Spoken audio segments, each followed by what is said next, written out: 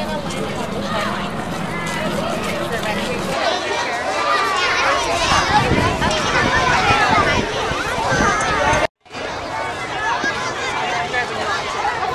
Hi, I'm Alice McClintock, Vice Principal at Rowell Elementary, and we have an exciting assembly today at our site. We have the Dairy Council of California visiting, offering two assemblies to our primary students and our intermediate students. And the presenter brought a live cow to our campus to share with our students and to teach our students about the importance of dairy in our diets and also bringing the farm to our site. So it's an exciting assembly for our students, and we're very happy to have everyone here.